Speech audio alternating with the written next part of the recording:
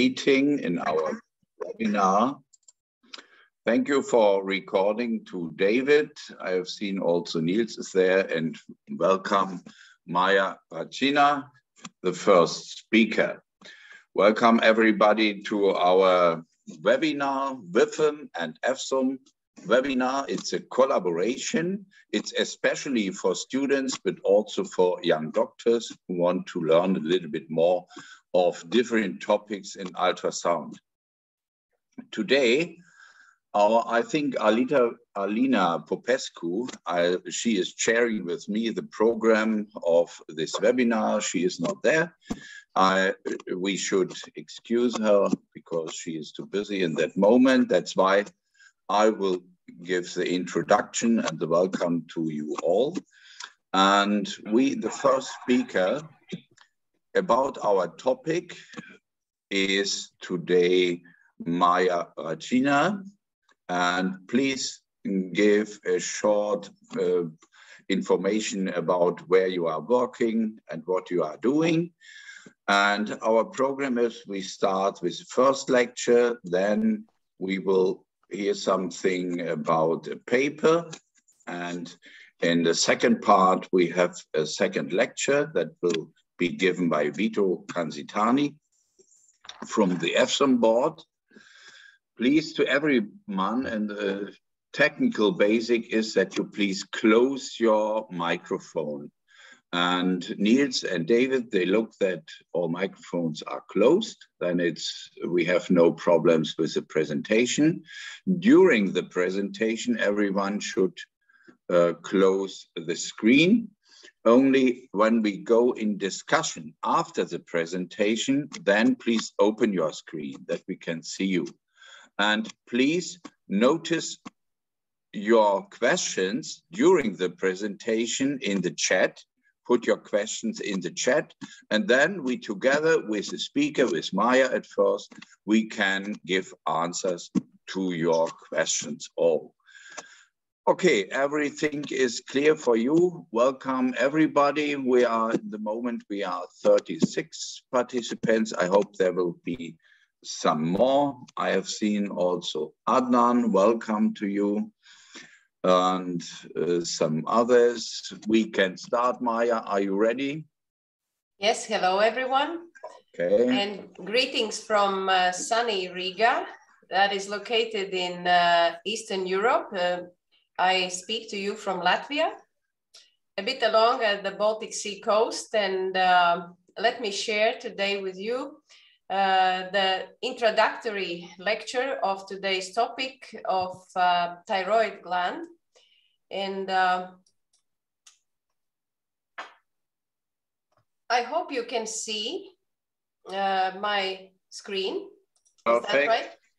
Perfect. Yeah.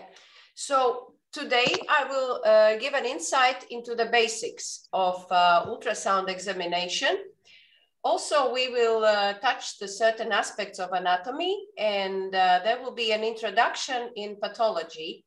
I also will go through the basic methodology of how is the examination performed by mentioning all the methods, but my colleague Vito Cantisani will continue in his talk more in details about those advanced methods. So let me start uh, with the introduction that I have been in uh, European Federation of Ultrasound in Medicine and Biology in a short EFSUMB uh, quite a time. And uh, I have served as a president of Latvian Ultrasound Society for some time. And I have been actively involved in EFSUMB also education committee. Uh, and I was chairing it uh, in the last term. And it was a great honor for me uh, to become a member of a very friendly EFSUMB family. And subsequently, uh, with the joint activities, I have been involved also in uh, World Federation Ultrasound Society educational activities, thanks to um, great collaborations with uh, colleagues from all over the world. So I hope you will enjoy today's meeting. Normal anatomy the thyroid gland, as we know, resembles a butterfly shape, and it is an endocrine organ located in the front of the neck, a bit wrapping around the trachea. And uh, we know that it is composed of the two lobes. And in the mid of those lobes, there is a, like a bridge called isthmus. And sometimes there is an extension uh, a bit cranially that is called pyramidal lobe. It is quite small, although has a great role in our body by regulating the metabolism, uh, regulating also in uh, uh, quite extensive uh, function situation, the heart rate and uh, the responses uh, to the all environmental irritations that we have. So with a hyperfunction, um, we are acting as if we were in um, adrenaline rush. So the heart rate goes up, there's a sweating. And on the opposite, when there is a hypofunction, we become more um, depressed and more sleepy. The metabolism um, reduces and there is a gain of the weight. What are the benefits of thyroid ultrasound? Uh, the first of all, uh, it is, of course, the method of the choice for the examination of this organ because it's quite small and uh, the ultrasound provides the high resolution for this superficial and relatively small structure. Plus it shows an ability uh, to be available in a quite wide areas all over the globe. Plus it is convenient for the patient. it does not have any invasive aspect and does not use any ionizing radiation. And in an extremely important point to emphasize is that it is a real-time examination. Therefore, if the patient is moving, if there are breathing moments, and if there are swallowing disorders adjacent to this, we can also review those aspects as well in a real time. That is not provided by any other cross-sectional imaging thyroid gland usually is examined by the ultrasound linear probe, which nowadays requires quite high frequency and um, depending on the size of the neck and also the location of this thyroid gland, we probably uh, also would work with a mid range of the frequencies like 12 or 14, but sometimes it would be very beneficial to reach up to 18 megahertz for adequate delineation of the superficial parts and also to reach the good penetration into the depth. The average examination depth is four to five centimeters. We are scanning usually in two planes, in a transverse view, as you can see in this image, and we use the perpendicular plane called longitudinal plane, although the longitudinal axis is usually adjusted along the longest axis of the thyroid lobe, therefore a bit oblique along the trachea. Both classic basic methods as the B mode or 2D imaging mode is used for the assessment of the anatomy, the surrounding structures, and to evaluate the further aspects, we use uh, additional modalities, including color Doppler mode to assess the overall vascularization and to characterize the nodules, and also the additional uh, more advanced, more novel methods such as ultrasound elastography and its subtypes and contrast enhancement, which requires the injection of the contrast media into the bloodstream in a peripheral venous axis. What is required? These are the programs, the ability of the technology to provide us these um, tools. Therefore, this can probably not be performed by any ultrasound equipment, but the more sophisticated and high-end machines with a specific program software that is dedicated for elastography and contrast enhancement will give that opportunity. Patient usually is in a supine position and to expose this neck part, we usually ask for the patient to hyperextend the head a bit with the chin lifted up. Thyroid gland ultrasound indications are usually for the characteristic of the thyroid gland itself to assess is the structure homogeneous or are there any structural changes To assess the size, as we know that the goiter may be diffuse and also be of the nodular type, we have to address the size according to the underlying pathology. Also, we look at the margins. Are they smooth? Are they bulging, suggesting of the enlargement of the lobes? And we assess the vascularity. So let me show you in a video the example, how does the transverse view of the thyroid gland looks like? In the central part, we see the trachea and pay attention, usually we don't scan only at the midline. We try to move a bit on the side of the trachea, not to make an unpleasant compression to the airways. If we suspect any thyroid nodules, we start to differentiate their type. Are they probably benign or they have any suspicious signs for malignancy, which is very important and actually is the main aim of the ultrasound examination. Then there are several diseases which are part of the diffuse parenchymal changes that affects the whole thyroid gland and we may see the changes evolving during the time, like for example, thyroiditis. The differentiation of the thyroid lesions sometimes is challenging because there are other structures that are adjacent to the thyroid gland, like lymph nodes, like uh, neck, congenital or branchial cleft cysts. There are also other tumors that could arise from salivary gland or other soft tissue in the neck. And there are adjacent normal parathyroid glands that may resemble the thyroid nodules. First characteristics that we perform on a B mode is to find the typical localization and to address especially the lower margin that may sometimes extend into retrosternal and to the upper mediastinum part that probably would require some further imaging to assess the possible uh, compression of the trachea or other organs.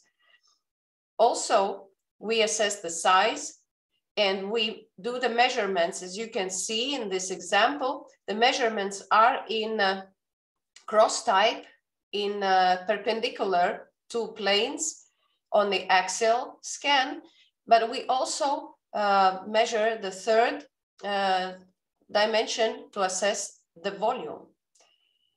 Then, as I told you, we uh, examine uh, the margins. Are they smooth? Like in this case, yes, they are a bit uh, maybe irregular in a certain way, maybe lobulated appearance, but the contour is absolutely clearly depictable. Then we assess the echogenicity and usually the thyroid gland is brighter than the surrounding neck muscles like this sternocleidomastoid muscle. And uh, also they are usually appearing as a homogeneous tissue if they are healthy. And my mentioned vascularization. Here you can see the assessment of the third dimension of the craniocaudal or longitudinal dimension, which is used for calculation of the volumes. The volumes are slightly uh, lower in women and a bit larger in a man. And we also measure the isthmus part separately from the both lobes. Looking at the topography, we see that this part of the neck is quite busy. Although the thyroid gland is located quite superficially and is easily accessible, we see that there are a lot of adjacent structures that may also uh, be involved and may obscure sometimes our visibility. What we can see is that there is a trachea, therefore some parts of the thyroid gland, if they will go behind the tracheal part, will be obstructed by the artifacts from the air inside the trachea. Therefore, we need to work precisely with our hand by tilting and sliding the probe to assess those quite closed areas of the visibility and to assess them. Also, if the thyroid gland extends into the retrosternal part, we sometimes may move from the superficial way of looking at this structure by the use of unconventional way using the convex probe to assess the full depth. So we kind of take the abdominal ultrasound probe to reach the deeper uh, points of this nodular or maybe extension of the thyroid goiter. So also dorsally, especially to the left lobe, but depending on the uh, position of the head, the esophagus may be located behind the trachea or maybe even move to the right side behind the thyroid lobe. So we must remember that this is not a nodule, but there is another structure.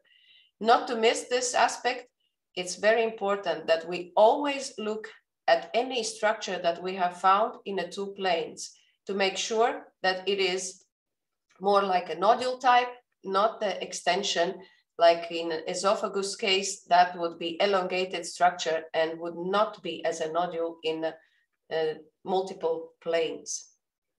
Also adjacent, we see that the major uh, neck vessels are located like carotid artery and jugular vein. And sometimes there are uh, side diagnoses found like atherosclerosis or maybe some changes in the vessels like thrombosis that probably could be important in the diagnosis.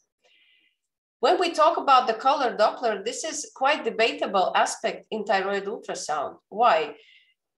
It used to be a very important tool until the recent years where the vascularization of the nodules have reduced its role in characterization of the nodules being benign or malignant because these nodules are usually quite well vascularized structures and either they are mixed vascularization or quite a marked vascularization. We have developed a technology that is so sensitive that sometimes these patterns overlap into the benign and malignant nodules. And therefore, further studies of the quite detailed measurements of the spectral Dopplerography and to evaluate the peak systolic velocities are not as popular as they were some time ago. But what is clear that in case of the pathologies, these systolic volumes are rising and also the resistivity indexes into the supplying arteries like thyroid artery, superior and inferior poles are rising. So as you can see in this case, so we see that uh, there is a, a, quite high volumes of 41 centimeters per second in, in this uh, vascularization. So here you can see the patterns of the benign, predominantly cystic nodule with quite mixed and extensive vascularization by being benign. This is more solid nodule with more peripheral uh, vascularization type. And sometimes these vessels that we see surrounding the nodule make a halo sign pattern. So they are resembling like a darker rim around the nodule and defining its margins. In this case, this is a malignant nodule. Also, you can see it's quite uh, vascularized and there are some overlapping of these signs. Talking about the elastography, it is a dynamic examination that is uh, with the aim to assess the stiffness, but not the stiffness of the whole uh, thyroid gland, but the specific nodule. So we are performing either the compression of the tissue or we are sending inside the tissue the push pulse that is giving a shear waves, which also could be measured. So we measure the propagation of these waves. The benign nodules are assumed usually to be soft and easy to deform, while malignant nodules are usually harder in their structure and more difficult to deform. Strain elastography is more relying to the compression and you can see in a B mode, here is the quite calcified, irregular um, bordered uh, nodule and we do the measurements in comparison to the adjacent thyroid tissue. So we do the measurement inside the nodule and we do the measurement in the normal, relatively normal tissue, and we measure the ratio. In this case, the ratio is very high. So the nodule is eight times stiffer than the surrounding and adjacent parenchyma, suggestive of the malignancy. And also there is a color coding of these features. And depending on the vendor machine, uh, the hardest uh, structures may appear red or blue. Shear wave elastography also gives the colorful map quite um, similar way, but we also see the possibility to assess the propagation of those shear waves. Plus it gives us the quantitative measurement of specific um, pattern of uh, the stiffness uh, that is uh, depending on those propagation speeds and uh, later is calculated into the kilopascals. Those kilopascals are giving us an understanding with the threshold values. Are these more likely to be benign findings or more likely to be malignant if exceeding 37.5 kilopascals? When we talk about the um, case, how it should be done and how it can be done in uh, routine praxis, whenever we find on a B mode and on the color Doppler mode by the signs, any suspicious finding, we can adjust additionally to the elastography assessment. It is not a compulsory, but it is like a one extra element, although it is not yet included into the standardized evaluation uh, categories of the thyroids. We see the irregular margin of the nodule. It's quite iso, slightly hypo echogenic to the adjacent structures. It's uh, markedly vascularized, but more into the periphery. And here we see that the, from the previous slide, the shear wave measurements, and we also perform the measurement of the strain elastography. Strain elastography shows the ratio in between the nodule and adjacent uh, tissue exceeding two. Also the absolute measurements of the shear wave uh, kilopascals is quite high, suggestive of the malignancy. Therefore, it is one more suggestive aspect to send this nodule for the further biopsy. Contrast enhanced ultrasound is one of the methods that could also be an additional tool for the assessment of the thyroid nodule characterization, are they malignant or the benign. Let me show you the video of how it is in a real time. So we inject the contrast media into the peripheral vein and starting from the few seconds after injection, we gradually see the enhancement into this target, our nodule. We see that uh, this enhancement is happening quite rapidly. Therefore, we always try to store the video clips for the possibility to review the image by image on the later time points. So here we see also the non-homogeneous enhancement. There is one part that is uh, more hypovascular, but in general, it enhances quite homogeneously. It's well marginated, and this was a benign nodule. And this was examination performed prior to the radiofrequency ablation of this nodule, which is very important aspect of uh, thyroid ultrasound minimally invasive treatment opportunities in ultrasound guidance. Let me go through a few pathologies. Uh, let's start with the development abnormalities, which are quite rare, but still are um, quite uh, visible and easily uh, defined by the ultrasound. So sometimes we have an ectopic uh, type of thyroid tissue. Sometimes part of the thyroid gland is not developed. Then we have a hypoplasia or aplasia of some parts. And sometimes we have a remnant of the ductus thyroglossus and there is a bulging lesion into the front of the neck appearing as a thyroglossal cyst, which appears uh, hypoechoic depending on the content, sometimes could also uh, contain anechoic fluid. And here you can see the example, how does the lobe hypoplasia may look like. So the one side is appearing larger than the other side. And if there is no history of any surgery performed, we can uh, define its congenital variation.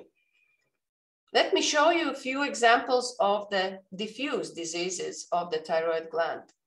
One of them is autoimmune thyroid disease, which presents with thyrotoxicosis. And usually there is a bulging appearance of the neck soft tissues. Uh, the thyroid gland is enlarged. It is very well vascularized and uh, not containing too many nodules, which uh, differentiates it from the nodular goiter. So we see that quite bulging enlargement of the both lobes, sometimes a bit asymmetric, and we see that marked hypervascularization diffusely within the thyroid gland. Of course, depending on the therapy, we may see the follow-up changes into the structure and also the intensity of the vascularization. Another diffuse disease that is quite common in a regular routine scanning of the thyroid gland, it is the inflammation that is also an autoimmune induced, but there is more lymphocytic infiltration inside the thyroid gland. Also uh, causing the diffuse enlargement with heterogeneous structure, but in these cases, thyroid gland has more patchy, uh, more non-regular hypoechoic darker areas as an inclusions inside the both lobes. Sometimes there also may be a nodule forma formation, like a substitution for this impaired function, because this thyroiditis represents with a gradual in several decades, almost the, the lifetime journey for the patient with a reduction of the function. So the patients with the chronic autoimmune thyroiditis usually reach the hypothyreosis at the end stages of the disease. Because of the chronic inflammation, there is more also fibrotic tissue appearing with each decade, and therefore the normal thyroid tissue are replaced by the scars. And this is an active enlargement. This is uh, still uh, quite ongoing chronic autoimmune thyroiditis. And there is a pathognomic sign of the hypervascularity throughout the whole thyroid gland that is called inferno. Later in the stages, we see that there are some nodular formations, calcifications, the border becomes very irregular, but overall finding of the thyroid gland is quite hypoechoic almost resembling the echogenicity of the adjacent muscles. And in the late stages, as I mentioned, there is a size reduction due to the fibrosis and also the reduction of the function. This is more tricky type of the thyroiditis because it is uh, without a clear uh, onset. It can be reactive after some viral infection or some other uh, triggering factors. And it appears as the more poorly defined regions where we have a hypoechoic areas with decreased vascularity, and usually the thyroid gland stays normal unless that this located regional thyroiditis, subacute thyroiditis, is affecting maybe a whole lobe. Usually patients present with uh, quite uh, changing symptoms of uh, even the pain in the neck. There may be some feverish feeling and it changes very rapidly. On some days, patient feels very active. On some days, patient feels very uh, depressed. So there is a high sinusoid of the hormonal also secretion in such a thyroid gland. So we see the asymmetry on the one side, there is a normal echogenicity, quite small lobe. On the other side, the lobe is hypoechoic and asymmetrically enlarged. And this is the ultrasound scan of that patient after the therapy of the three months. We see that the thyroid has been normalized.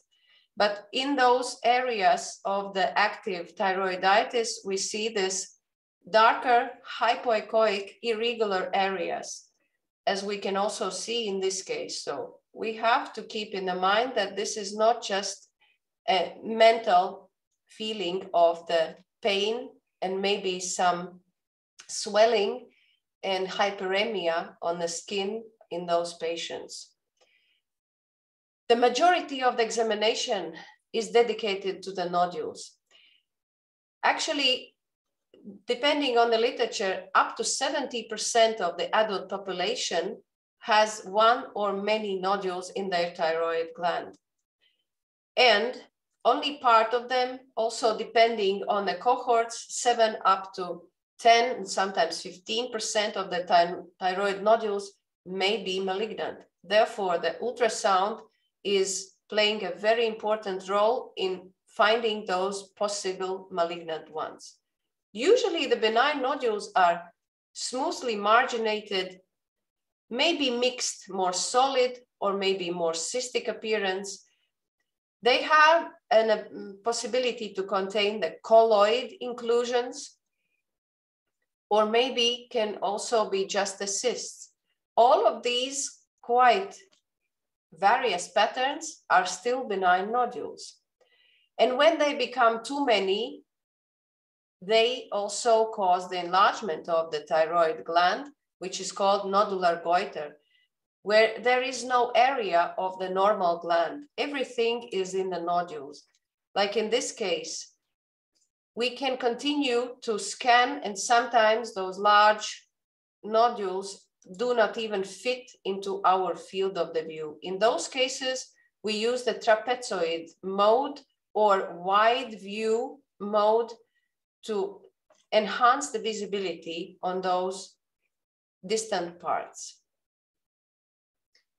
Where is the role of ultrasound in all the workup of the thyroid nodules?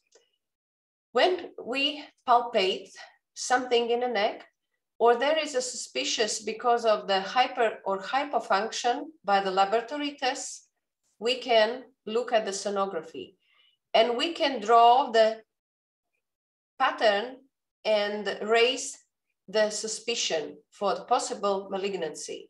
If it looks clearly as a benign, no further workup is required. But if there is any grade of suspicion raised, depending on the size, there is a recommendation to perform a cytology diagnostic approach, which is done by ultrasound guided fine needle aspiration biopsy in a short FNAB.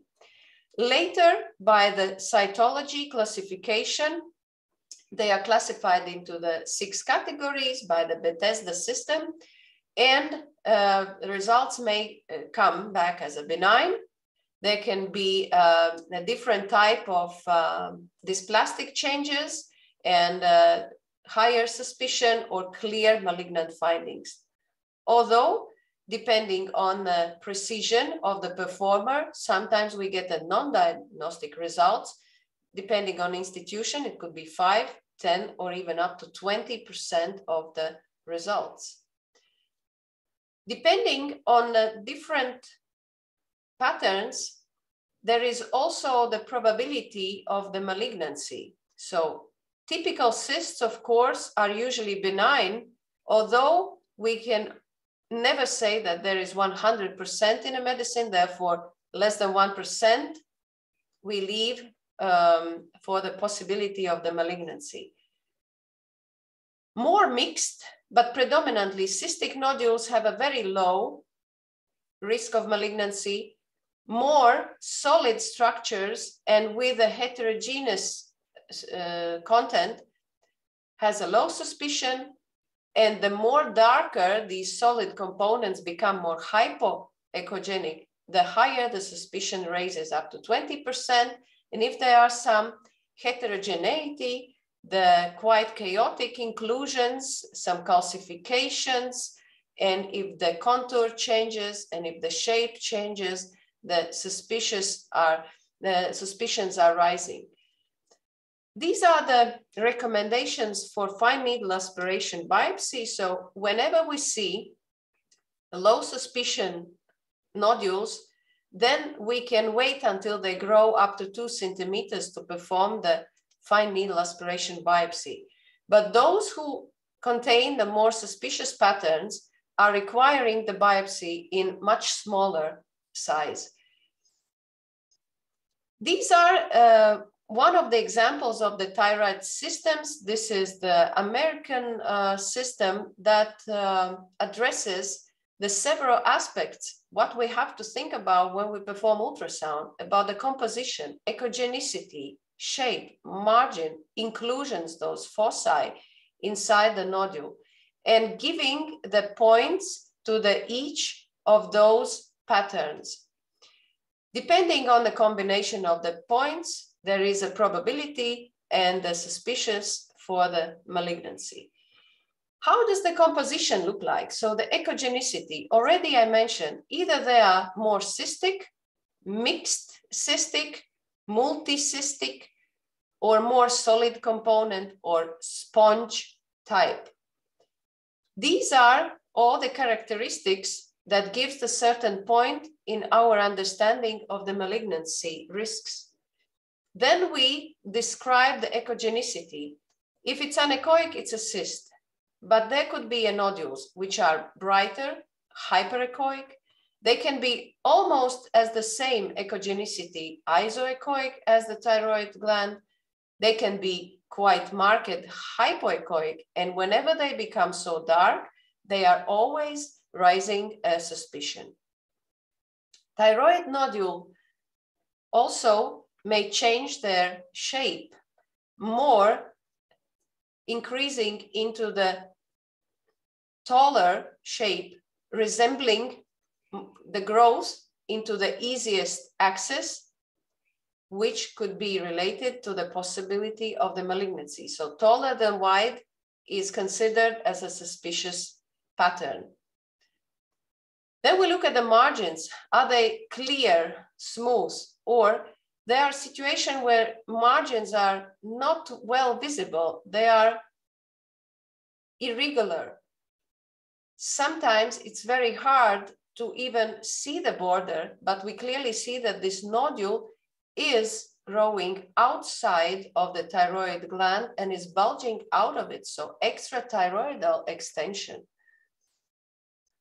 Also these echogenic foci, the most benign ones are the colloid inclusions, especially into cystic parts, which can show the comet tail artifacts. But there are macrocalcifications that could appear as a more benign finding, but when there are micro, small foci of calcifications, this is very suspicious finding for the papillary cancer.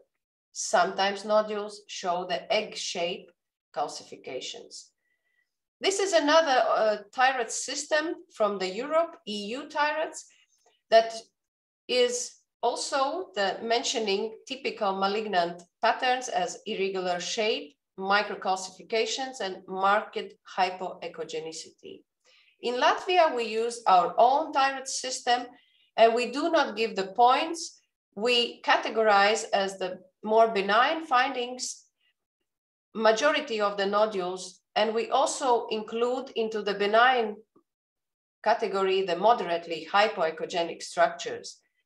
But whenever there are these signs of malignancy, of irregular contour, microcalcifications, and all the uh, previously mentioned patterns, the more signs are there, one, two, three, or four, the higher is suspicious and the possibility of the malignancy.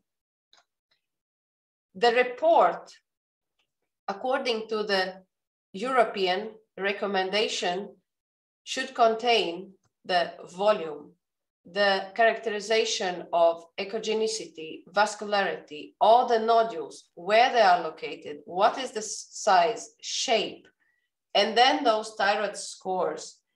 then if there is any change from the previous examinations, where do the changes extend? Is there any additional findings like regional lymph node changes? And then there is a conclusion which also contains the management recommendation, for example, the further recommendation to perform the biopsy.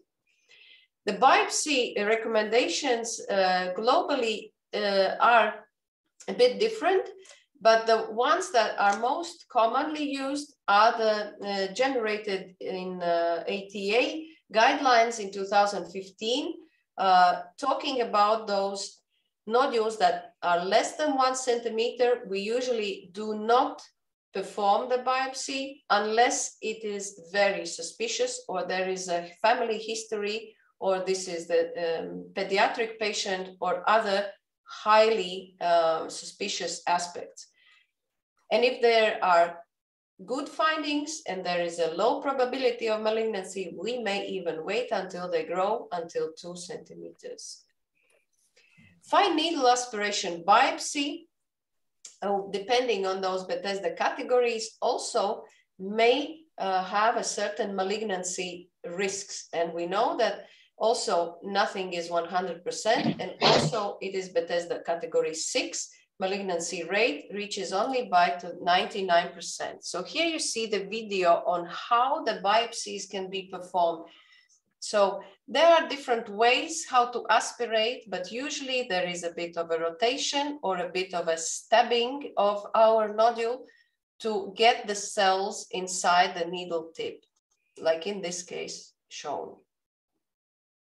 It is always performed in ultrasound guidance. Either the fine needle aspiration biopsy and in a more suspicious cases, sometimes even core biopsy.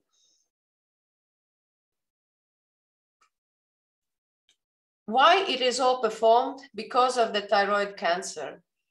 These are the most common ones. The majority of the cases are papillary thyroid carcinomas, which reach 80% of the cases, but shows a very good survival rate if found in the initial stages. More tricky is the follicular thyroid carcinoma, uh, and uh, the incidence is much rarer, and also a good survival rate. And uh, I will also show you a few examples of those uh, cancers uh, in uh, incoming slides. So papillary carcinoma usually are representing quite palpable, stiff, hard nodules because they contain usually some calcified aspects. Either they are larger or just microcalcifications. And when they are below one centimeter, we even call them microcarcinoma. Unfortunately, quite early, they give a metastasis in the central and also jugular lymph nodes in a quite extensive way, which uh, does not uh, give a good start uh, for the patient in their workup. And sometimes there is a necessity, especially to perform for these nodules, the radioactive iodine therapy afterwards, not only the surgery. The most unfortunate cases and rare cases is a diffuse sclerosing papillary carcinoma, where all the parenchyma is involved into the cancer, resembling the snowstorm pattern. And these cases are not presenting with any symptoms. There is no palpable one nodule, but they quite early give a metastatic changes into the lymph nodes and the lymph nodes also contain the calcifications, which is pathognomic sign of papillary carcinoma. Follicular carcinoma may resemble quite homogeneous, like a benign nodule. And also on a cytology, it's almost impossible to differentiate them from the benign adenomas, therefore requiring a different workup. Unfortunately, they also give a distant hematogenous metastasis, therefore uh, giving a metastasis more distant and uh, therefore giving a challenge on uh, maybe presenting as the first finding these metastatic lesions until we reach that the primary is thyroid. This is a very uh, uh, bad type of the thyroid cancer. It's anaplastic cancer. luckily, it uh, gives only 1% to 2% from thyroid malignancy cases, but it usually grows extremely rapidly in a few months, providing a quite extensive neck structure compression syndrome and uh, very quickly invades the vessels and uh, gives the metastasis in uh, a lot of organs, including lungs, uh, liver, and the brain. Unfortunately, mortality is very high and uh, gives uh, half of the all mortality from the thyroid uh, cancer mortality rates. So here we see the heterogeneous, large, irregularly contoured, chaotic mass sometimes may even have a destructive component. Medullary carcinoma is also a rare type of um, thyroid malignancy. It has a, um, a, connection to the hereditary disease associated with a multiple endocrine neoplasia syndrome type 2.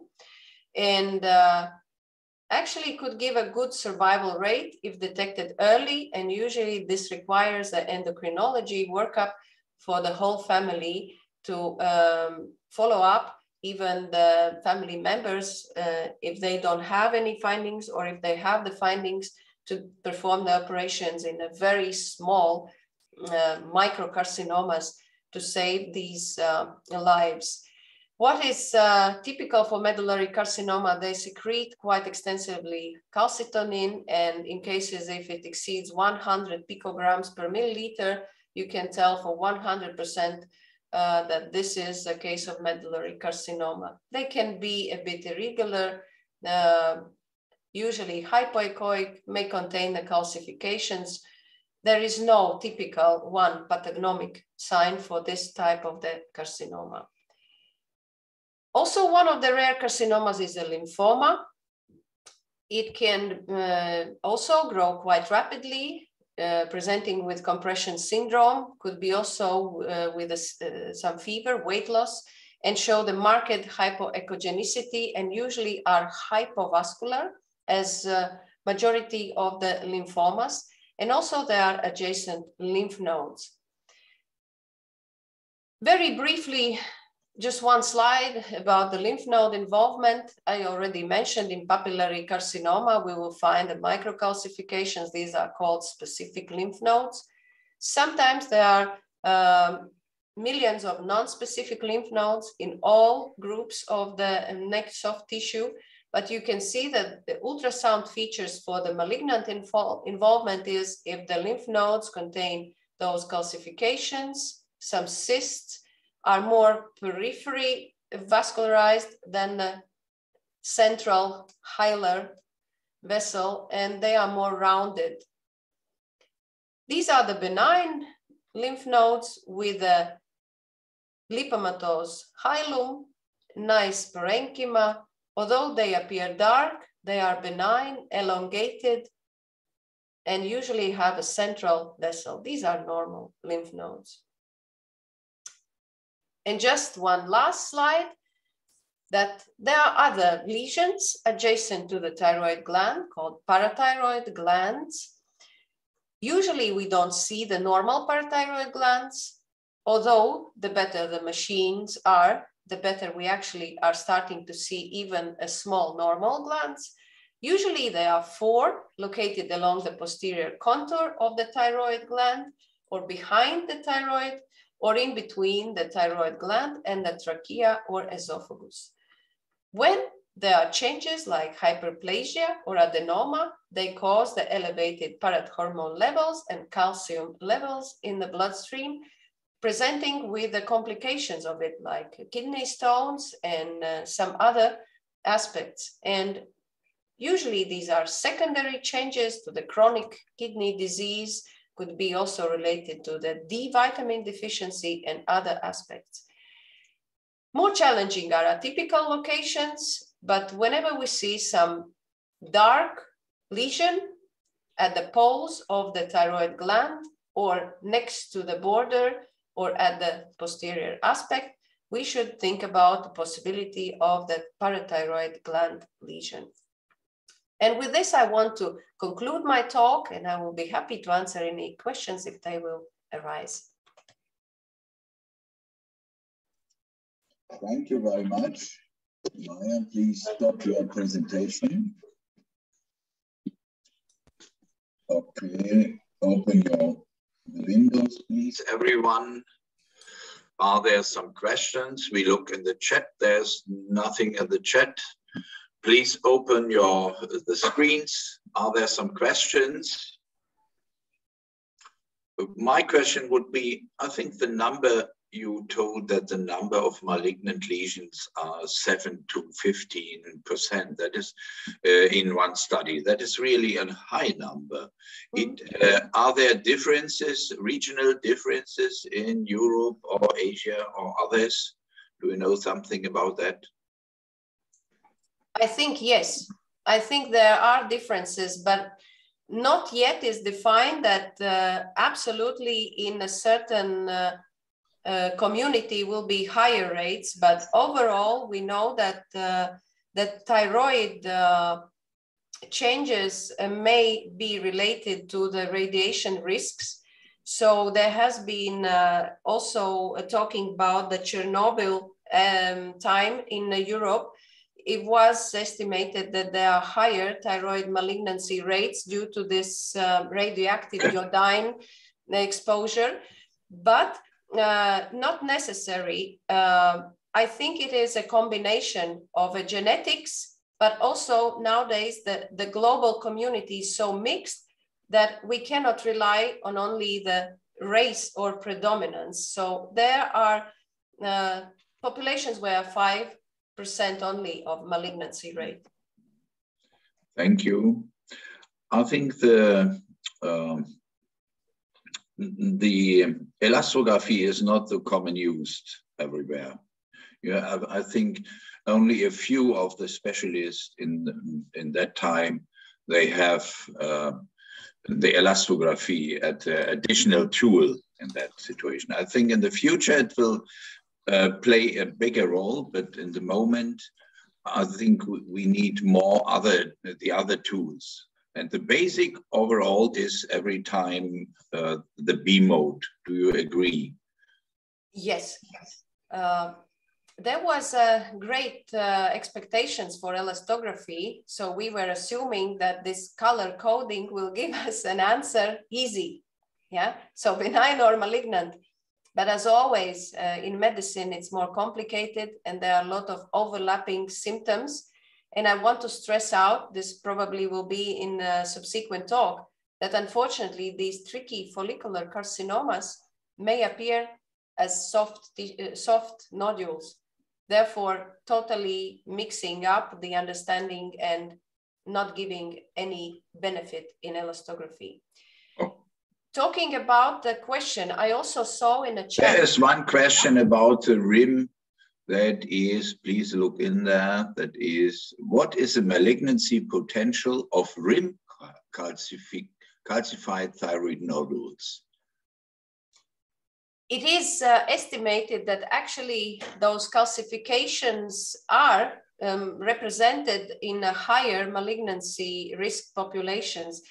But when we talk about the macro calcifications, the average risk is about 30 to 35%, while those rim calcifications like eggshell calcifications are showing higher malignancy potential if this rim is ruptured. Yeah, but in general, it is two times less than in macro calcification groups, so probably some 15 to 70%.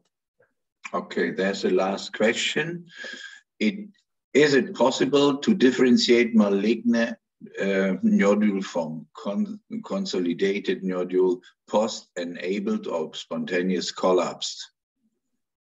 Adjusting.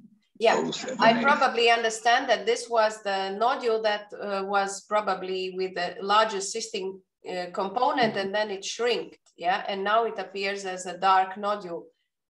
Yes, it is a great challenge and therefore it's very important if you have any history or especially the prior images to compare something yeah? So if you understand the same applies for those appearance of the hemorrhages of the cystic uh, components which suddenly shows the enlargement of the nodule. This is also a tricky cases where you should have a certain workup. For 100%, you cannot um, define only by ultrasound saying that this is uh, for sure not malignant. Yeah. But if you have a previous and you have the context of the case, then you have a high probability to say right. And just a minor remark, we will deal more and more with radio frequency ablated nodules. And unfortunately, some of them, when they shrink, they also look very dark. So it's very important that we know the prior history of this patient. Mm, there's a question or a comment of our friend Adnan uh, from Greece, from Turkey. As far as I know, inferno pattern is a feature of Graves, but mentioned as a feature of Hashimoto. For me, in my experience, it's also the first feature of uh, of Graves of uh, yes I think. The, what, what I wanted to show with that is not that inferno is pathognomic for uh, Hashimoto thyroiditis. I just wanted to show that how does this inferno look like? And sometimes okay. they overlap and the very active Hashimoto thyroiditis may also be very glowing, very mm. extensive. Mm. And it is not a sign for the specific disease. It is a name for this blooming for this uh, thyroid on fire, I would call. Yeah. I, I think we can say where is a lot of color, there's a lot of function. Is it true? Can we say that every yeah. time? Or overall, we can say a lot of color, then it's uh, no malignancy, then we have more function there.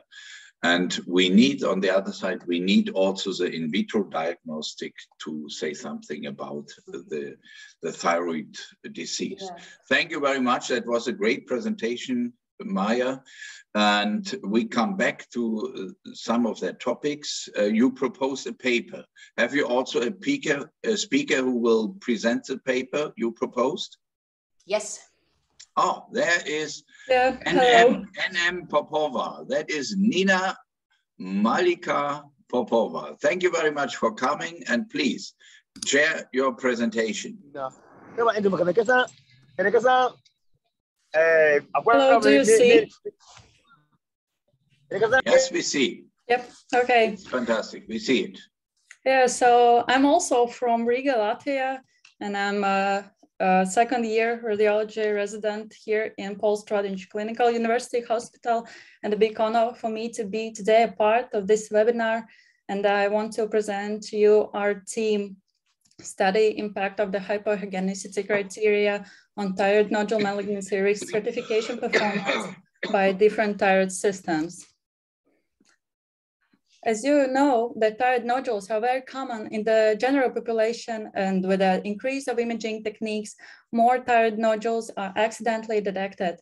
Only a small part of a nodule is malignant and their evaluation is a common clinical and diagnostic challenge. Nowadays, the ultrasound is a primary diagnostic method for patients with uh, thyroid nodules and it's allowed to detect more than 70% of nodule comparing to classical palpation. And fine needle aspiration is a primary method for diagnosis thyroid cancer, but not all nodules need to be biopsied. So most of the thyroid nodules are benign and asymptomatic, about 85 to 30, uh, 93%. However, in 5 to 15% of the cases, the nodules are malignant. Uh, in the past decade, several professional societies and uh, research groups have implemented guidelines to provide a standardized assessment uh, of ultrasonographic features of thyroid nodules to assess the need of the fine needle aspiration biopsy or FNA. Initially, in 2009, Horvath al. introduced a thyroid malignancy risk stratification uh, system, TIRADS, inspired by uh, breast imaging reporting data system. And the aim of it is uh, to stratify malignancy risk uh, based on ultrasound signs, to standardize and simplify reporting uh, by ensuring effective multidisciplinary communication, and to improve the quality and cost of uh, care by reducing unnecessary uh, biopsies.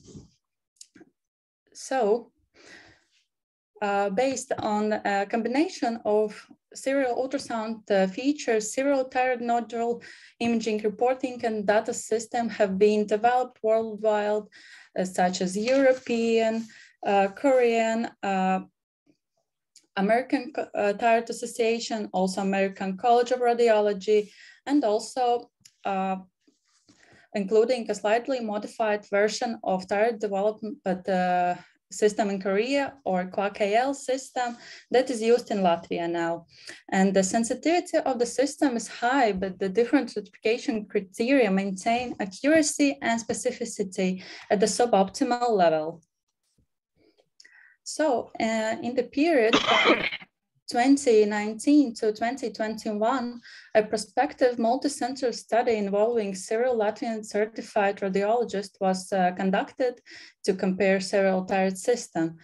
Uh, that system, uh, system that is used in Latvia or modified QuACK AL's version, uh, European system, Korean, and also American College of Radiology thyroid system to assess the impact of hypoechogenicity as a malignancy risk on overall diagnosis accuracy assessment and to define the difference more clearly between the systems, I will visually illustrate all the systems that included in this uh, study.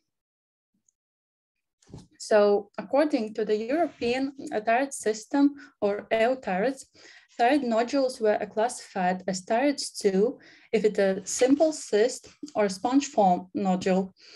Uh, thyroid 3, it's, if it is a smooth, uh, isoechogenic, ovoid, uh, solid nodule without high suspicious features, isoechogenic or hypoechogenic nodule, yeah. Uh, thyroid 4, if it's solid, mildly hypoechogenic nodule without high suspicious features, and thyroid nodules were classified as thyroid 5 if it's at least one of the following features like uh, a marked hypoechogenicity, microcalcifications, irregular margin, or non-oval round shape, and uh, with the presence of a solid component.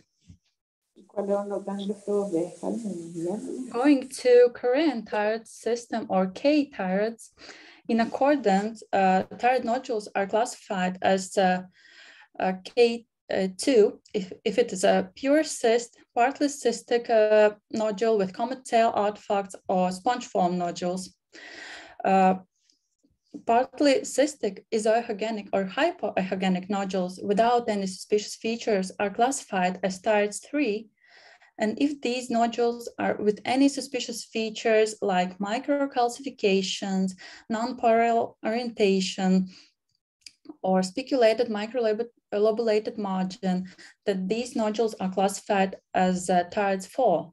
And furthermore, uh, as TIRADS 4 classifies thyroid nodules if these uh, if they are solid, hypoechogenic, without any suspicious features. And as uh, thyroid 5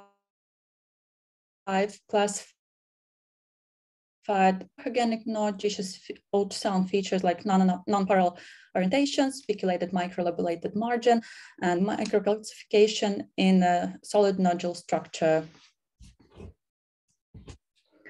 Uh, American College of Radiology thyroid system is based on points throughout the following categories, composition, echogenicity, uh, shape, margin, and echogenic foci.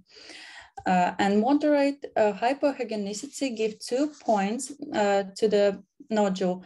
And for example, moderately hypoechogenic nodule with a mixed solid composition, it's only three points and it starts three. But if it's a hypoechogenic nodule with solid or almost solid component, it starts four. And going to the next uh, system that is used in Latvia, it's a modified version, QuACK-AL version. Um, it's based on the count of suspicious feature, as uh, said Professor Radziņa, um, and with the marked hypoechogenicity, microcalcifications, taller than white shape, irregular or microlobulated spiculated margin, and metastatic lymph nodes.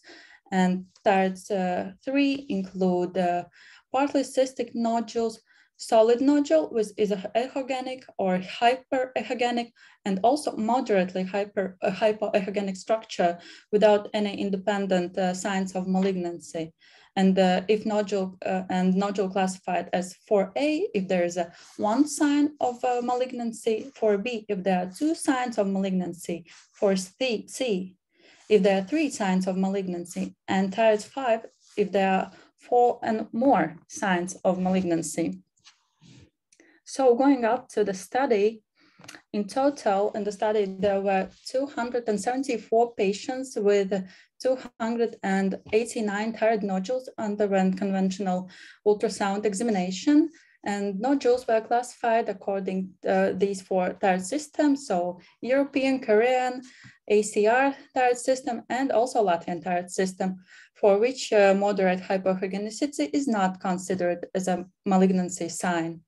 All patients with uh, clinical indications for fine needle aspirations were included in this study, and samples were analyzed by certified histopathologists with experience in thyroid pathologies. And uh, thyroid nodule fine needle aspiration material were classified into Bethesda classification categories, which uh, was uh, considered as a gold standard.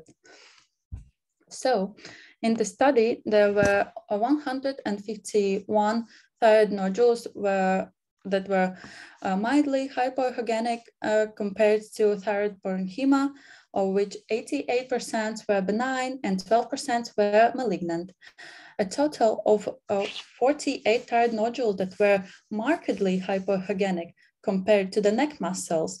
Uh, of them, 66.6% were benign and 33.3% were malignant. And from 81 isoechogenic nodules, 97.5% uh, were benign and only 2.5% were malignant. And now uh, hyperechogenic nodules were benign. So analyzing echogenicity as a malignancy risk evaluation criteria it seems that only 12% from uh, mildly hypoechogenic nodules were malignant, which means that this feature is not specific by the cell, while among the marked hypoechogenic nodules, 33.3% uh, uh, were malignant, which means that every one of the three markedly hypoechogenic nodules uh, are malignant. And this proves that this feature is uh, specific by itself for malignancy. So to uh, better understand the difference in classifications, I will show you some examples. And in this case, you can see solid uh, hypoechoic uh, irregular margined oval nodule. And according to Latvian thyroid system, it uh, corresponds to class 4A because it's uh, have this one uh, malignancy sign, irregular contour, and while according to other thyroid system, it corresponds to thyroid 5 because uh, of the irregular margin Yes, and in this turn, accordingly, accordingly uh, to cytology, it's a benign nodule, fo uh, follicular nodule, Bethesda 2 class. Uh, in this case, you can see solid, moderately hypoergenic, non-homogeneous, smoothly contoured nodule with micro and also macro calcification in structure, and which is uh, wider than tall. And according to TIRADS 4A system, it's uh, also 4A because of this microcalcification in the structure, while according to other TIRADS system, is it is TIRADS 5. And uh, in this case, it's also where Bethesda 2 class nodule, uh, benign follicular nodule. Here you can see in the lower pole of the right lobe, uh, 10 to 12 to 12 millimeters, slightly hypoechogenic, smoothly contoured nodule with a small cystic areas uh, in the periphery and individual echogenic foci in the mass it's seen. And um, as you can see, European, Korean, and ACR thyroid system classifies this nodule as thyroid uh, 5. Uh, so, but uh, instead of Latvian thyroid system that classified this nodule as 4A, nodule because of the this one sign of malignancy or microcalcifications. And also in this uh, in this case, it was a Bethesda 2 uh, nodule. Uh, in this case, you can see solid uh, uh, nodule, mildly hypoechogenic, non-homogene in the lower third of the right lobe dorsally, and it's a ill-defined contour up to 2.5 centimeters with microcalcification and it's uh, classified as 4B for thyroid, L thyroid system and uh, thyroid 5 for other three system. And it was Bethesda 2 class nodule. Here you can see solid uh, moderately hypoechogenic, sharply contoured, irregular margin nodule with microcalcification in its structure uh, and uh, the taller than wide size because uh, uh, and because uh, the nodule is irregular shape with microcalcification in structure and taller than wide shape, it's classified as L-TIRADS 4C and other system classified this nodule as TIRADS 5. And uh, cytologically, it was Bethesda 6 uh, or, or papillary carcinoma. Here you can see small nodule and I want to remember that small nodules firstly appear as relatively hypoechogenic. And for these sub-centimeters nodules, five, fine needle aspiration biopsy may be advised only if they have several signs of malignancy. In this case, a slightly hypoechogenic, ill-defined nodule is visualized. The nodule is periphery vascularized and only if these criteria are taken, then L-TIRADS or Latvian TIRADS system corresponds it's to the class 4A, uh, 4B, I'm sorry, and as uh, TIRADS 5 according to other systems. So it's very important uh, to evaluate the neck and the lymph nodes in the neck and in this patient, several hypoechogenic lymph nodes with multiple microcalcification and change cortical hilar hypertrophy are visualized in the group three of the right side of the neck. And cytologically, the nodules were malignant response to Bethesda 6, and it was papillary carcinoma. As you can see, most of the nodules in this uh, study were benign, uh, but there were also other categories of the nodules. 6.9% uh, were Bethesda 1 or the material was uninformative. In 5.88% of the cases, the nodules corresponds to Bethesda 3 or atypia of undetermined significance or follicular lesions of undetermined significance.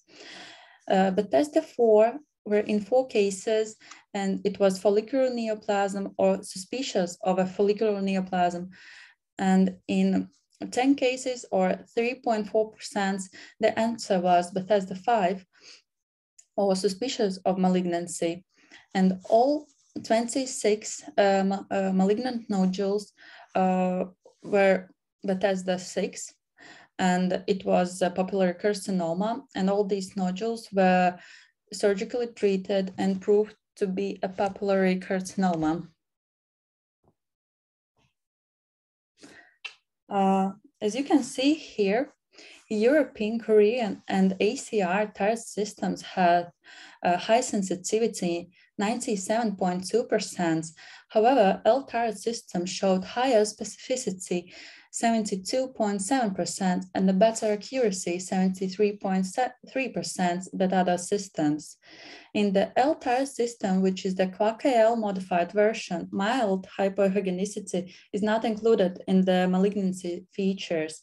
So mild hypoechogenicity thyroid nodule so which do not have any other malignant uh, features are stratified as thyroid nodules with low risk of malignancy or thyroid 3 category nodules, uh, which results in higher specificity and diagnostic accuracy, and therefore showed different performance in comparison to other system, a comprehensive uh, decrease in sensitivity to 80.6%.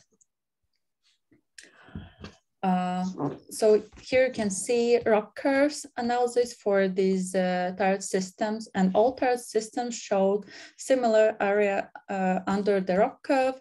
L-thyroid's area under uh, curve uh, value was 0.76. Then goes the Korean thyroid system with the AUC value 0.71 and then ACR TIRADS with AUC value 0.69 and the last uh, European TIRADS system with the AUC value 0.68. So comparison uh, between the Latvian TIRADS system and European, Korean and ACR TIRADS systems uh, of the 208 uh, thyroid nodules classified as TIRADS 4 and C in the European thyroid system. Only 132 nodules were classified as 4 and uh, 5th class nodules in the Latin thyroid system and means uh, that 37% of the nodules were classified as a lower class. In turn, uh, the Korean thyroid system divided 186 uh, nodules in the fourth and fifth class uh, categories. And here also there's a difference between Latvian and Korean TIRADS system, where Latvian TIRADS system reduced need of FNA uh, for 30%. Uh, in total, ACR TIRADS system uh, classified the nodules as TIRADS 4 and 5 uh, for 211 uh, nodules while in the Latvian TIRADS system, there were 132 nodules, which corresponds to the fourth and the fifth class, which is for 38% lesser.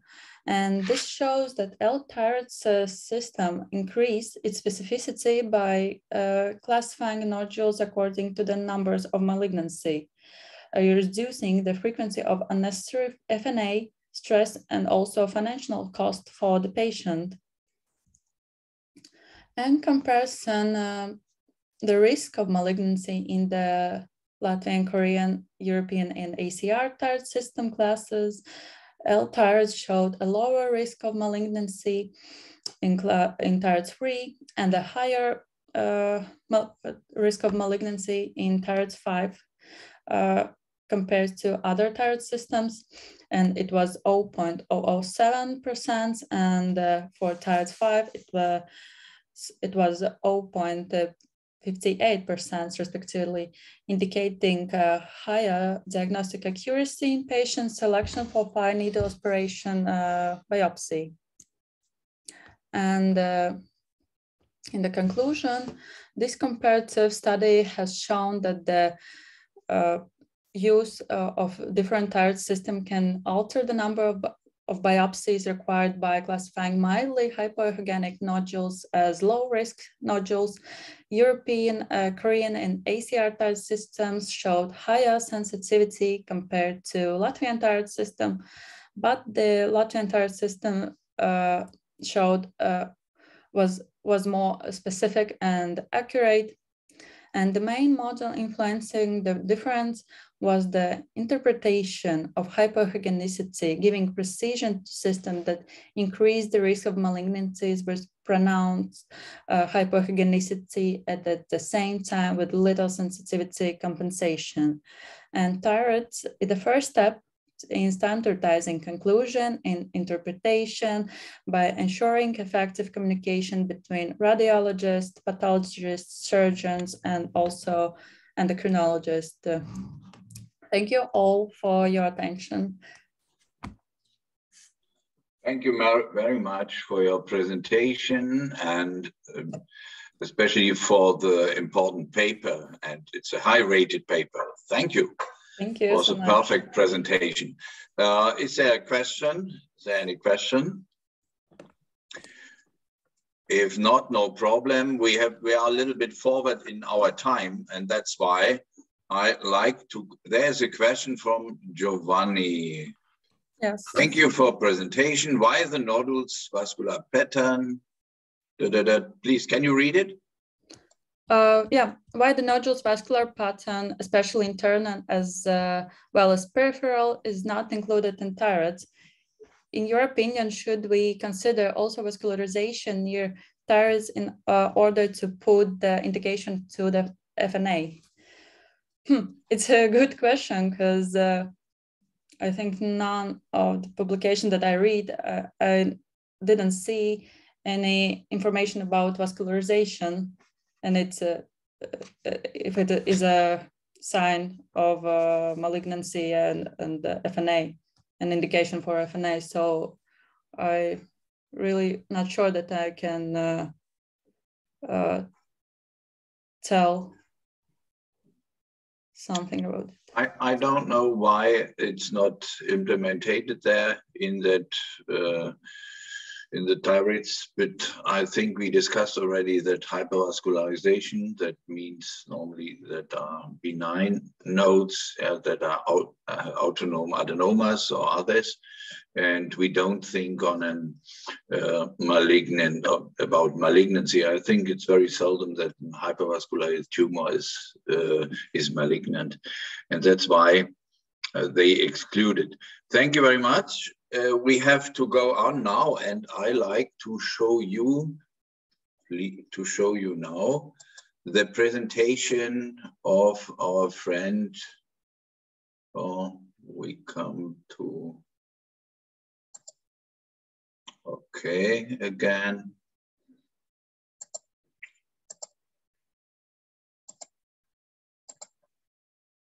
And let's go on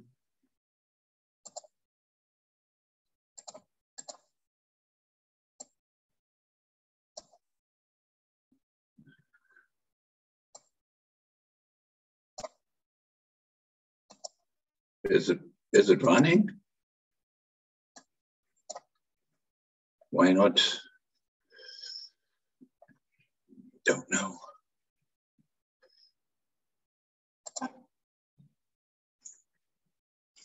Now it's running. That is Vito Cantisani. He is, okay.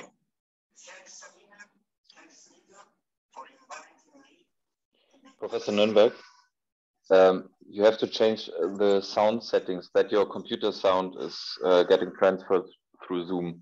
We are okay, just using your microphone. Okay, what I have to do, I have to change the presentation form. Uh, no, you have to go into uh, Freigeben, and then there's a little. Box. Okay, I, I know, I know. I tried again. Okay. Oh, sorry.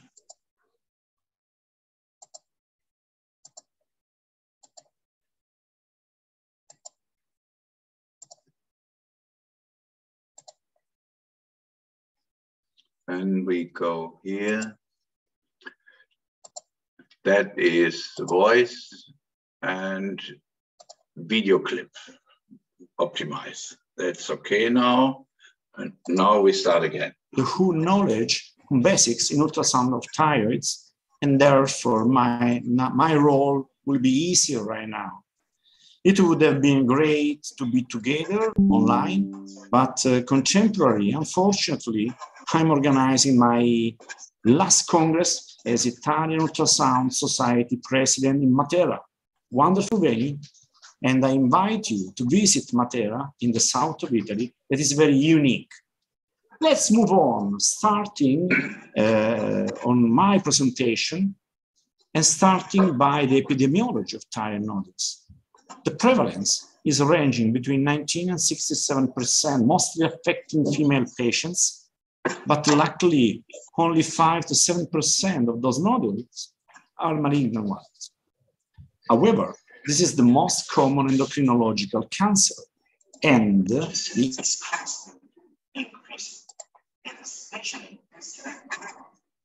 So Nürnberg, did you open an, another program? We don't see anything. Okay.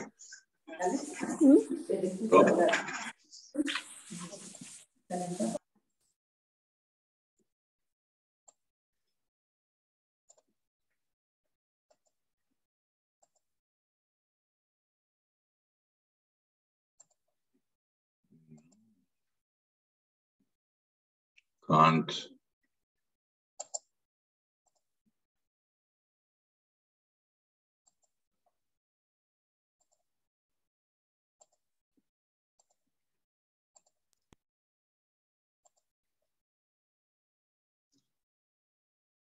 avoid overdiagnosis and overtreatment.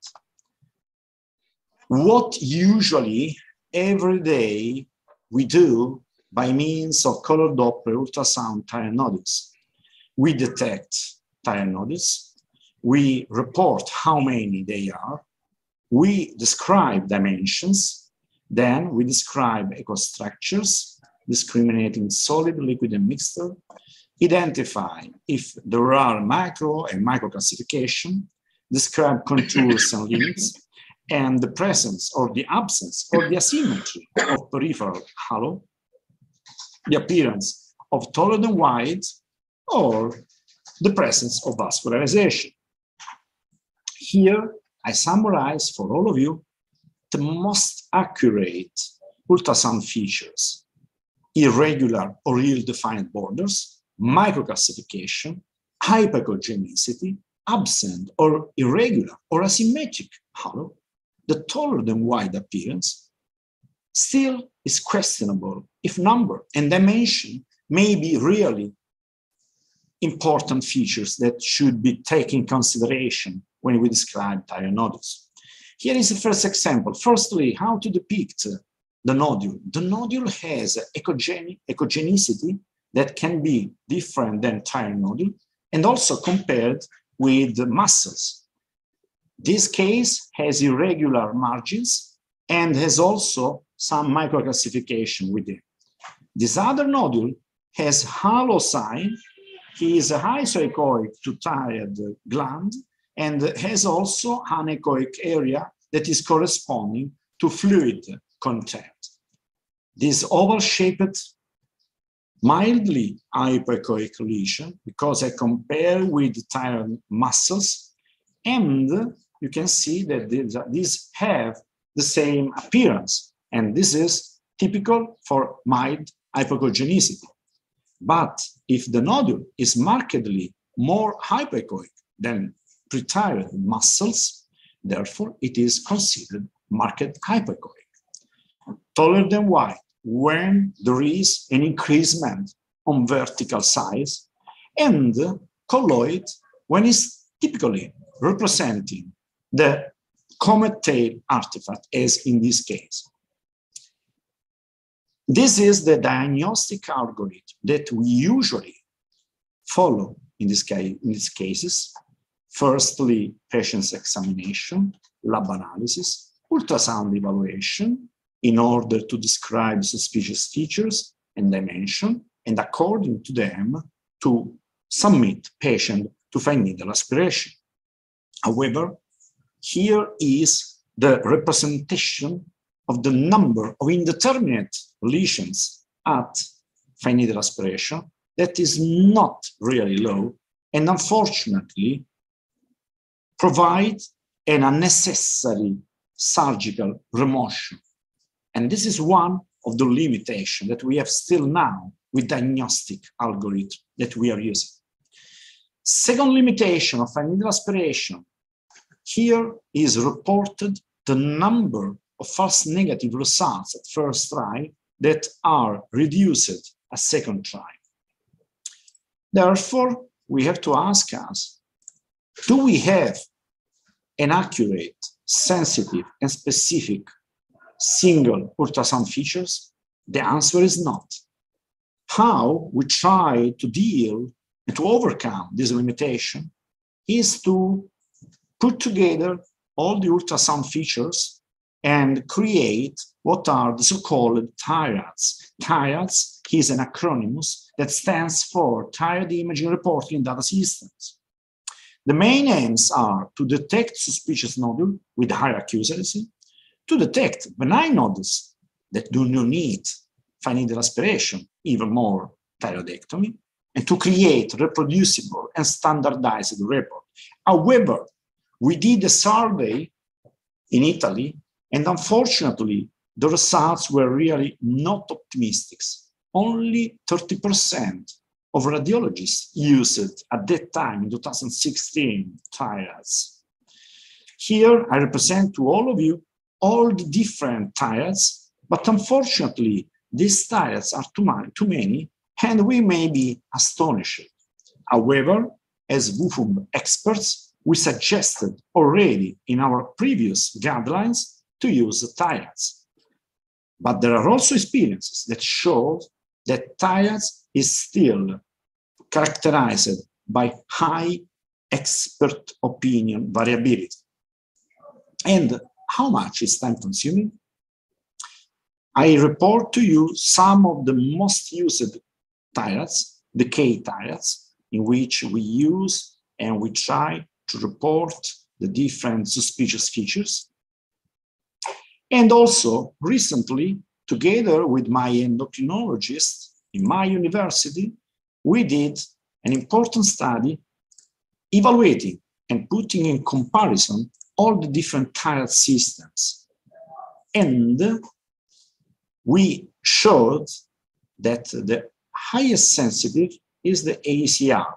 In the ACR, you have to evaluate composition, echogenicity, shape, margin, and the presence or the absence of echogenic foci, discriminating micro, macro calcification, or colloid. Then you add all the different points and you provide a TIRADS classification. And according to it, and according to the size of the nodule, decide if the patient should be submitted to fine needle aspiration or to be followed. Recently, we were one of the first group to test the new artificial intelligence software dedicated for thyroid and breast. And uh, you can manually report the border of the lesion or automatically or semi-automatically the equipment provides for you. Then you can have also the depth, the width, the height, and the area, and all the composition. You have to add some information, such as calcification, elasticity, and central vascularity, and the software provides to you a possible categorization of that nodule. And we did publish our preliminary experience in Journal Ultrasound. Then we, I decided, together with other colleagues, to put together all the societies in Italy, the endocrinological one, the ultrasound, and the radiological one. And we provided another possible classification of the nodule, including also elastography that has high specificity. Why we wanted to include the elastography? Since ancient Egypt times, we were aware that tissue stiffness is one of a possible worrisome sign in a body nodule. And Hippocrates included palpation as an essential part of physical examination, but we all of us know how limited is digital palpation. Recently, thanking technology, elasticity imaging is now a reality and is based on tissue stiffness or deformability evaluation rather than anatomy, giving us the possibility to quantify how much is stiff objectively that lesion. There are two types of elastography. One is strain, the second one is shear wave. The first one is applying displacement compression by compression by probe or using patient source, such as carotid pulsation. And it provides qualitative or semi-quantitative information. The second one is a dynamic electric shear wave elastography. You apply a pulse, pulse, it results in shear wave propagation that can be measured as a velocity or elasticity, providing to you quantitative evaluation. Then we need to prove what we say, what we do. And the best way is using EBM-based guidelines. And uh, I'm honored to present to you the EFSUMB guidelines. The last version, updated, is available online on our website and also through our journal, our ultrasound journal, European Journal of Ultrasound, or also the WFUMB guidelines. I was honored to be part of both the groups, especially for tyrants. Here, I represent to you how you do the compression and obtain the strain elastography. Or you just press a button and then obtain the shear wave elastography. The main relation is between strain and hardness, and this is represented by the fact that soft tissue has high deformability, hard tissue has low deformability, and as a result, it will be reported in different colors. And uh, I want you to be very aware that red or blue can be changed. But what is important is to evaluate in your scale to which it corresponds. In this case, red is soft, blue is hard, but you can change it according to your preference. In the real time, it is very important to use the quality control that helps you to obtain real-time examination. You have a polychromatic box, you have this scale, then you have a quality indicator, and then you obtain the right percentage of compression. At the end, we have a classification that is based on the polychromatic representation that corresponds to the formability of the thyroid nodule, and then you have different score. This one is clearly a soft lesion, so score one. The second one has a softness with some parts that are stiff, lesser than 25%. Then 3A starts to become very complicated to be discriminated from 3B because this is very subjective. And we arrive to deletion when it is completely stiff. It is very clear that this is a malignant lesion. To avoid and to overcome this subjectivity, we included the possibility to have strain ratio evaluation with two ROIs, one within the nodule, another one nearby the thyroid gland. And we were one of the first group to show that what is important is the cutoff. But again, be aware, any kind of different equipment has a different cutoff. However, at the end, you put the ROI and you obtain a number.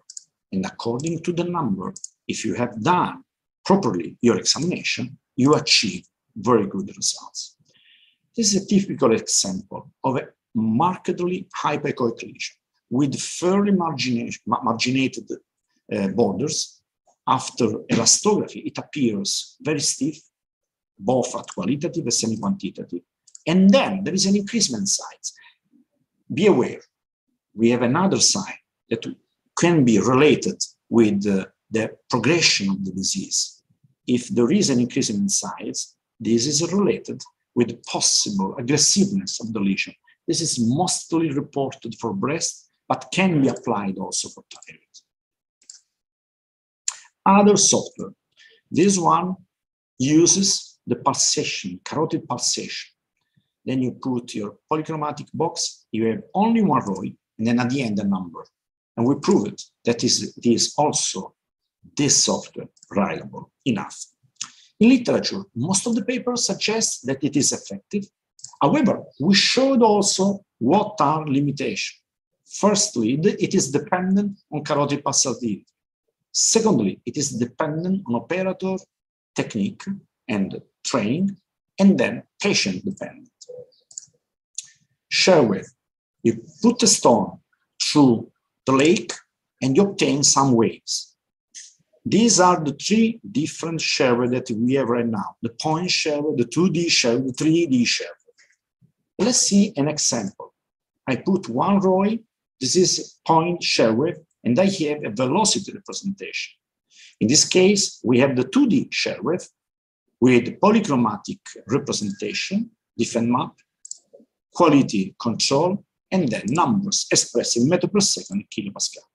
According to the first guidelines, we suggested to use elastography as an additional tool for differentiation of thyroid nodules. However, according to WFUMB guidelines, we also reported that we have too many cutoff values, especially for wave, and that we have to take in account that not all the malignant nodules are stiff.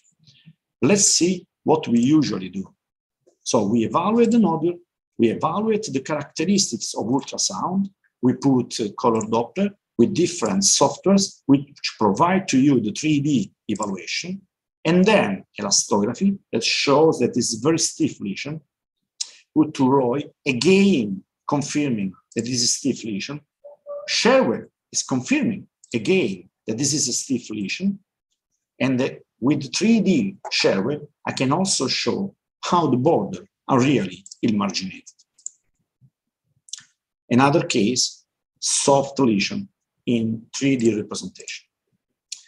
Now, what is the best technique?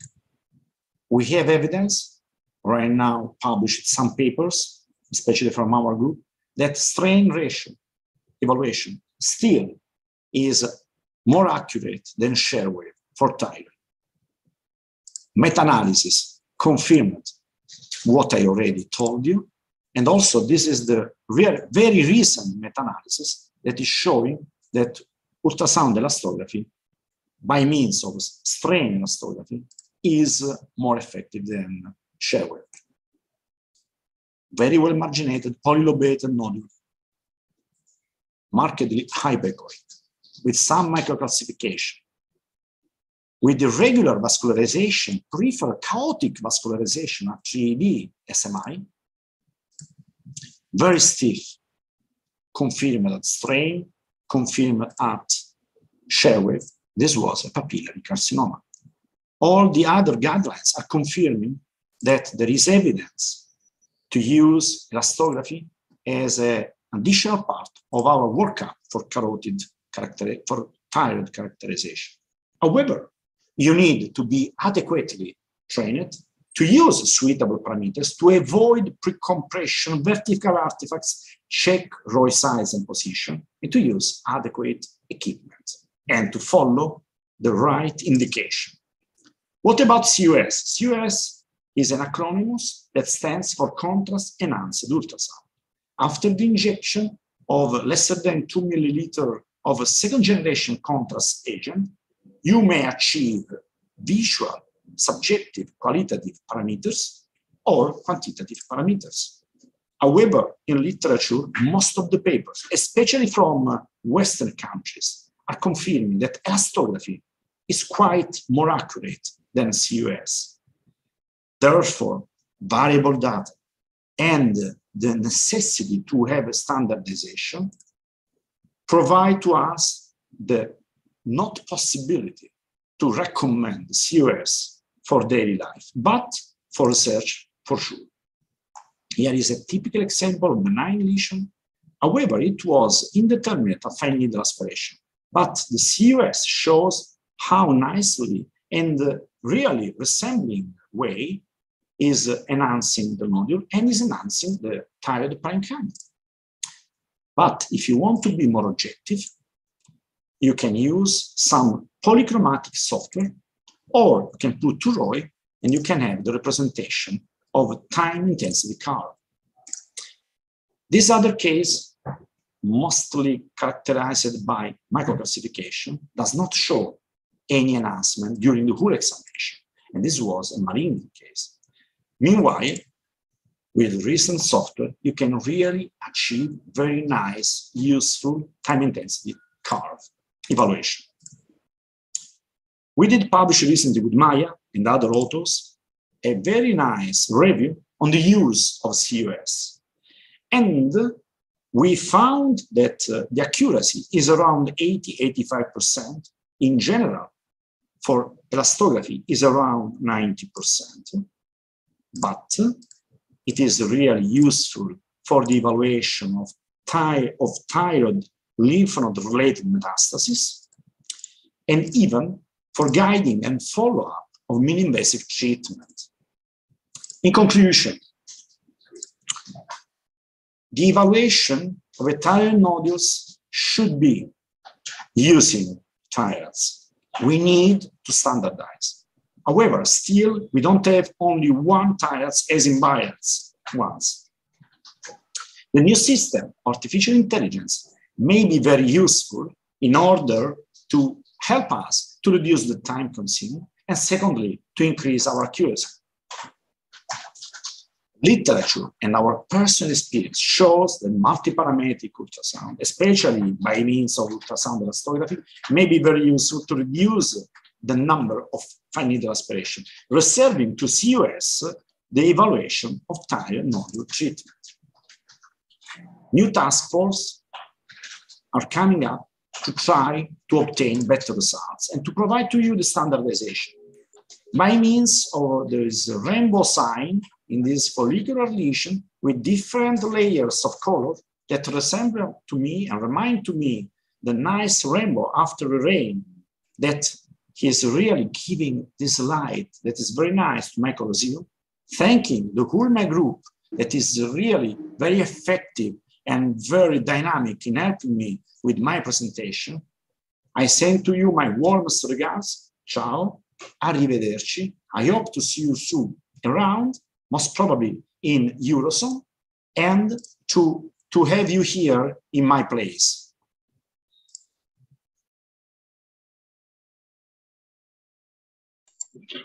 Thank you very much, Vito Cantisani.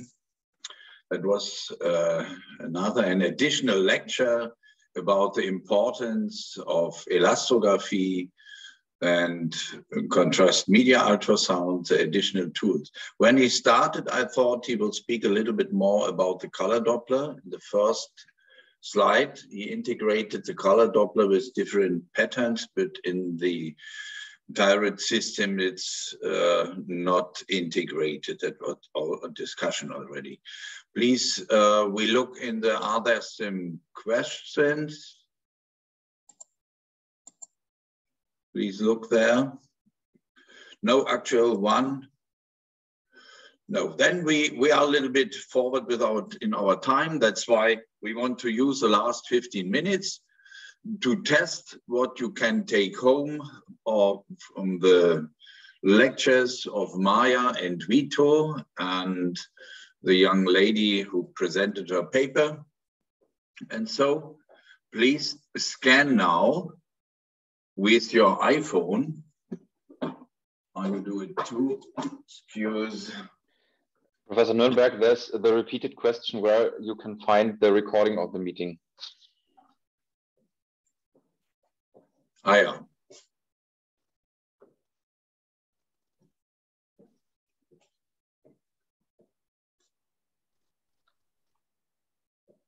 No, it's not running.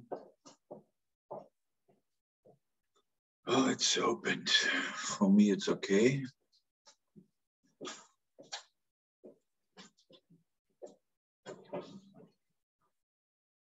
I think we can start. We could start now. David, your microphone is closed. Who will start? Okay. Yeah, I will. I'm going to.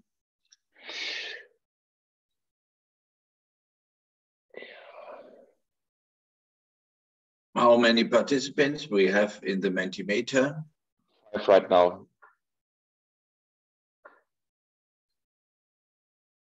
Only. Is it okay? We need some more. Why not more? We have that means we have only four, is that right? Hm, David, kannst du einmal nochmal zum Start gehen? Hmm. And we go back and explain again that there are other people we have to show that them that they use their scanner in their iPhone to go on the barcode. Exactly, the- and you also have the link uh, in the chat directly there. You can go on menti.com Yeah, we have you... we have 38 members in the session, but we need some more participants for the Mentimeter, yes? Yeah, so look at what mine is showing. Oh, exactly, that's right. That's perfect. No.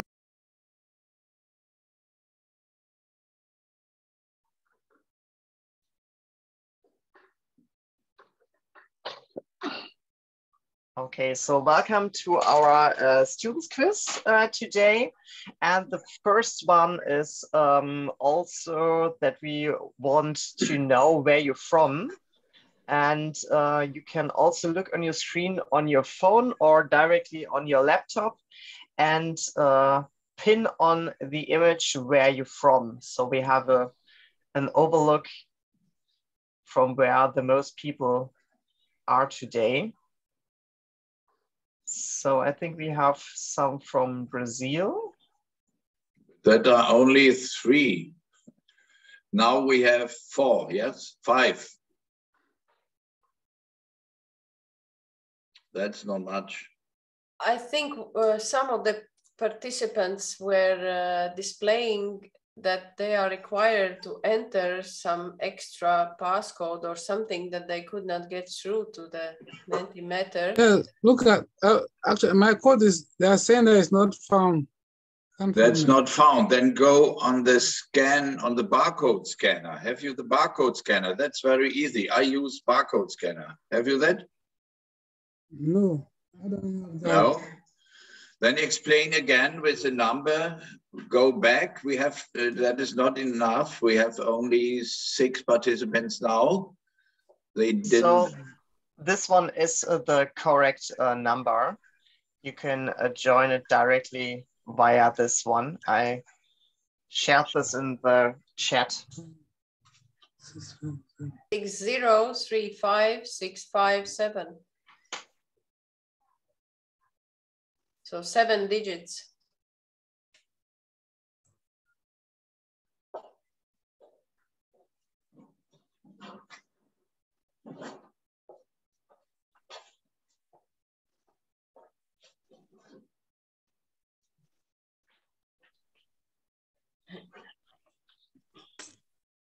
Okay, we have, now we can't wait longer. We want to go on. Okay, perfect. So we have the first image here. It's a basic part. Uh, you see the ultrasound picture here, a small scan, and after it, we have a small question about it. So look also at the structures here, maybe which side it uh, can be, and the other structures to get the most points. Okay, so we have our first question.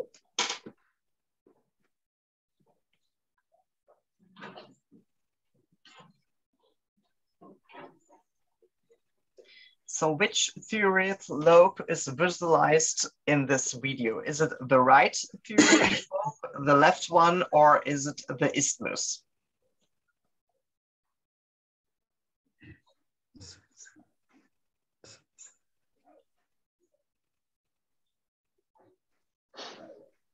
All six were totally right. It's the left thyroid lobe. We have also the picture here again.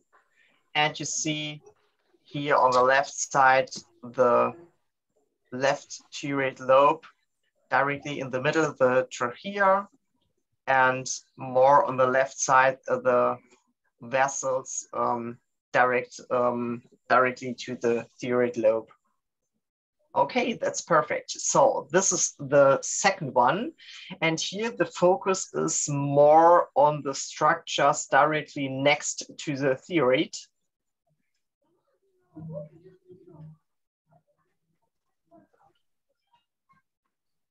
So also more in the lateral part of it. And this is our second question about it. And what is the anechoic structure at the lateral border of the thyroid gland? Is it the esophagus? Is it the trachea, the carotid artery, or is it the jugular vein? Which one is the direct part left to the thyroid lobe? Yeah, so six were also right.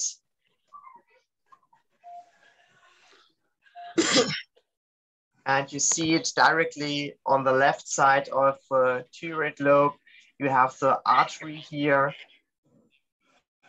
And a little bit more on the left, you see the jugular vein on the picture. Okay, so we have our third picture here, and we see something directly in the thyroid. So have a look on the structure and maybe also on the margin. So it looks a little bit different to the other ones we saw. And we also have a question for it.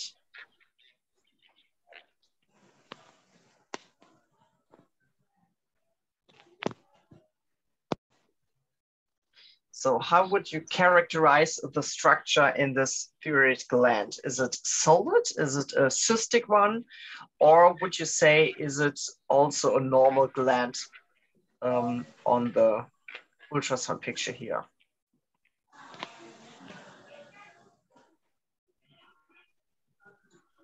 Yeah, totally right. It's a solid structure directly in the thyroid lobe here.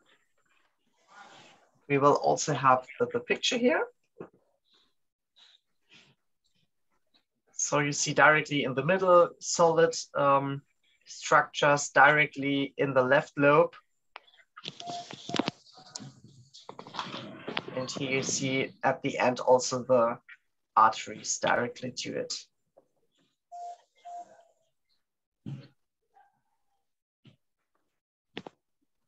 Okay, fast uh, the first leaderboard. Venture and Carl Gustav, place one and two. Let's have another three questions and see who's going to win this Mentimeter round. Okay. Again, look at the different structures.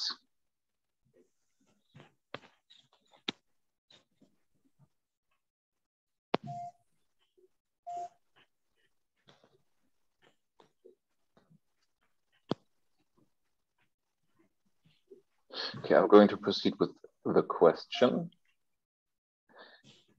Fourth question is, hmm, where was the question? Was I too fast? So, okay. How would you characterize the structure in this thyroid gland? Is it solid, cystic, or normal?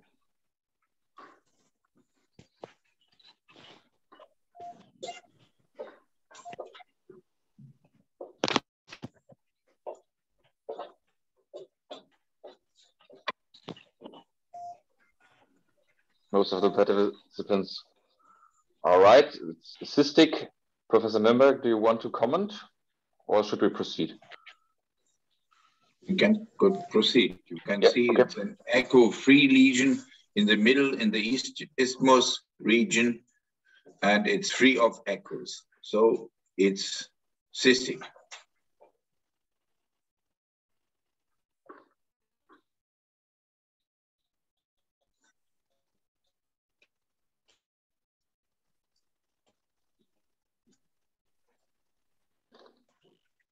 Fifth question, five of, of six.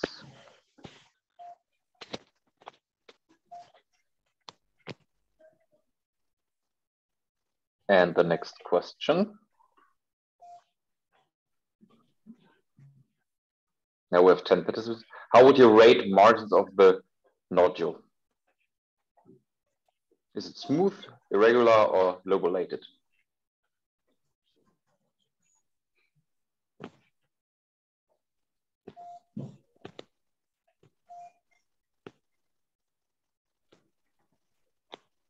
Uh, smooth and lobulated. Smooth is the right answer. Let's have a look again.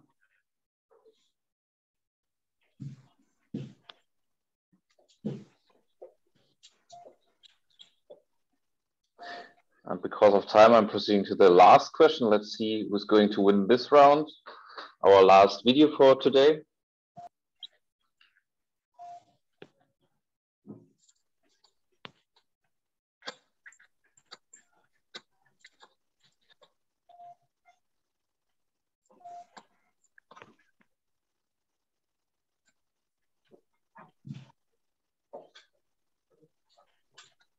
And our final question for this picture.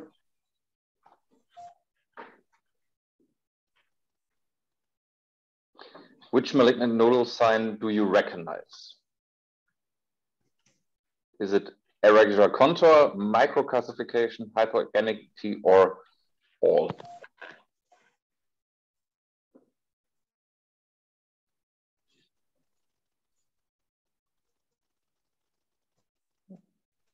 A little bit divided. the field, please, Professor Nürnberg, or um, I will comment very yeah. briefly. There you can see everything. The contours are irregular, they are microcalcification, and it is clearly hypoechoic. And this is uh, how systematic we should look at the nodules, not to miss any of those patterns because every one of them makes a difference. Okay, let's have a look. Who is the winner of this Mentimeter round? Yeah, and Carl Gustav were. Ah, let's see. And the first three stayed the same. Aya is the winner this time. Congratulations. Okay, open your screens. Who is Aya? Please Show us your picture, show us your screen. Where's air? I can't see you. Ah, there's air. From where you come? From Turkey. From Turkey. Congratulations. And thank you for taking part in our Mentimeter. Thank you, Maija, for the nice videos you sent us. And thank you to Niels and to David. That was a long afternoon about the topic of thyroid. We heard a lot about the nodules and the systematic of the nodules and also the tools we can use as a multi-parametric ultrasound in the future uh, to integrate the elastography and also to integrate contrast media ultrasound. Thank you very much for taking part in our meeting. Uh, one of you asked me where you can find uh, the recorded lecture. You can find it next week on the website of WFUMB. Go to WFUMB website, to the webinars, and there you can find the recorded lecture and can see something again. We will see you again at the 4th June. That is also a Saturday because the participants is better at Saturday afternoon. See you again at the beginning of June, Saturday, the 4th June. Thank you very much for coming. Thank you for your nice lecture the, to the ladies from Latvia and to the students from Germany.